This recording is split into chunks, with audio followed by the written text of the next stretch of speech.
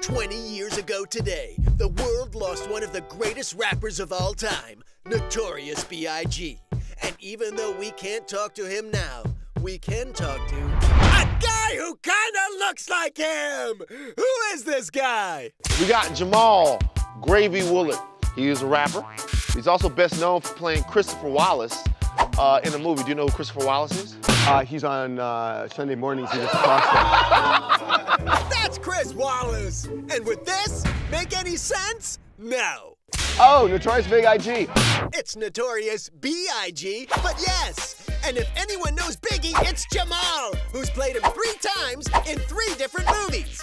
You know, it's just an honor to be able to play somebody iconic like that. But it's also the love, you know, from Brooklyn. So, of course, Big, get a go. But he's not the only guy that's playing Biggie. USA is doing their own look back at the Notorious B.I.G. and Tupac. It's called Unsolved. Yes, they just started shooting this week.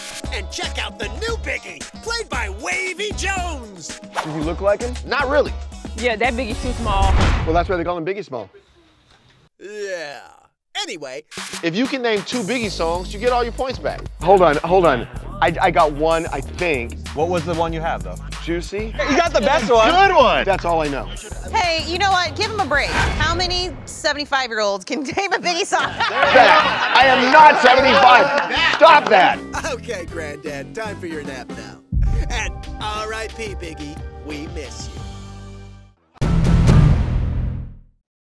We're TMZ. If you like our vibe, click on that button and hit subscribe. We'll send you more.